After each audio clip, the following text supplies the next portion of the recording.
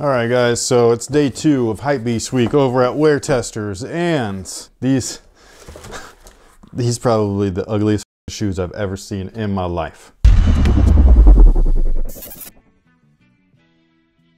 Hey, what's good guys? My name's Chris. Welcome back to the official WearTesters.com YouTube channel. This is the box for the foam runners, okay? It's an inside out box. Everything that should be on the outside is actually in the inside, including the label. It's the weirdest damn thing. This is just a strange shoe. It's like they wanted, or I guess I've never seen these actually in a store. I've seen the I don't know what they are. They're not Crocs, but like they're at DSW. They're kind of wavy looking. They look like a cross between Crocs and these. I don't know what they're called. They're like Jack Purcell or I don't know the brand, but like these are ugly, man. Like if you like these, I'm happy for you. I actually met somebody when we were in uh, Santa Cruz. Yeah, we were in Santa Cruz, small little vacay. Had some fun, and I met a guy who watches the channel. He was wearing this exact pair. They're perfect for where we were, like the beach and stuff. The sand can go through these, the water can go through these. They're waterproof. They're flexible, comfortable, but god damn are they, they are so ugly. Okay, so we just did the 450s, right? I had brought up Beetlejuice. They remind me of the claw seat. This reminds me of the dude when he pulls his face out right before they go into like the ghost world or whatever, and they gotta like look the part. Like tell me that don't look like this guy. It does. Eyeballs on his fingers it's just weird, man. This is so strange. But like the 450s, when I look at these, especially when I'm like holding them, I'm just like, how the did they make these? Like how? It's one piece. It's all one piece. It's the weirdest I've ever seen. This reminds me again of the Nike Foamposite, and yes, I'm gonna bring that up quite often uh, because at the time in 1997, that shoe was like the future in 1997. You look at it now, it still looks like it's from the future. It doesn't look like it would be made today. And the way that they make that shoe is so weird and so interesting with an upside down mold of the upper itself. And then they pour in liquid polyurethane until it hardens. And that's the shoe. And then they attach it to, you know, the midsole and the, the outsole and stuff. But this, it's like, how did they do this? Is that the same thing? Is there an upside down mold of this weird shape with a foot in it? or something, foot shape. They pour it all in, they clamp it all up. Does this just pop out in one piece? It's just, I, I need to see how these are made. You know that show, how, how it's made? Mm -hmm. I love that show. Nerd alert! What? Now, as far as the shoe itself, there is traction on these, surprisingly. Kind of looks like the bottom of the 700s a little bit, uh, but without, like, you know, the boost and stuff like that. But yeah, it reminds me of that. It is a runner, uh, even though it's not a runner. I don't know why these are called the foam runners. Ooh. Because the word Huarache is taken. What does the Huarache got to do with this? It's just, it's like the Huarache, where it's kind of like a, a sneaker sandal. But this is not. There's no leather, there's no rubber, it's just foam. Just let me have it.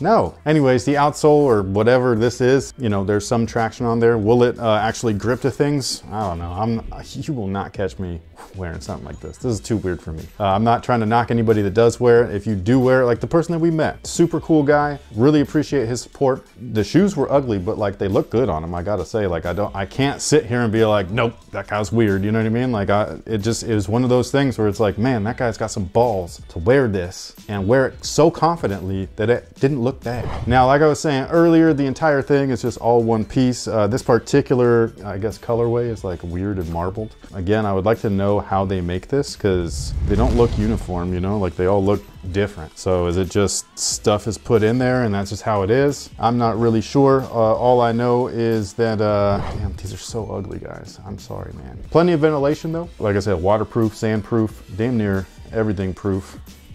They retain their shape well. What do you want me to say about these? They're hideous. I need to know what you guys think about these. That's what I really am curious about. Like, is this your thing? Is this the new slide? Like, if you're going to the basketball court, you're gonna wear these? It's the new Croc. I don't know how Crocs became a thing. Except it's like three times the price. Is it really? I don't know. I assume those are like close to 300. Aren't most Yeezys? Let me double check. Holy crap. The original colorway, that bone colorway, was 628 bucks? Inconceivable. Are Yeezy foam runners good for running? Somebody actually did a performance review.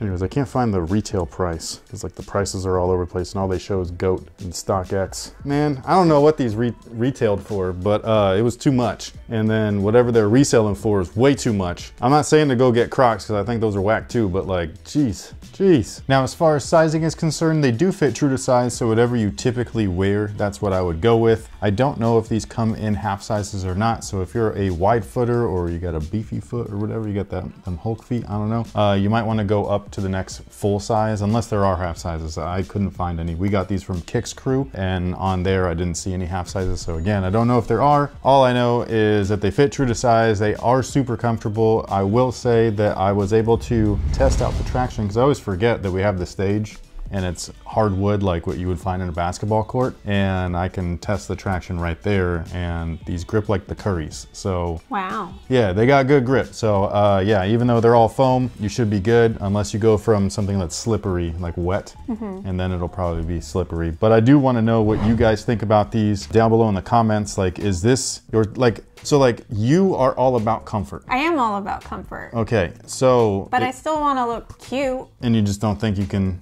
because your pinky toe would be good in these. I don't care. I have house slippers. I have slides. I have so many other runners that I could like walk around in all day. I don't need these in my life. I don't know if anybody really does. like, so let us know what you think about these down below in the comment section. You can send a pair her way. Uh, she will really appreciate it.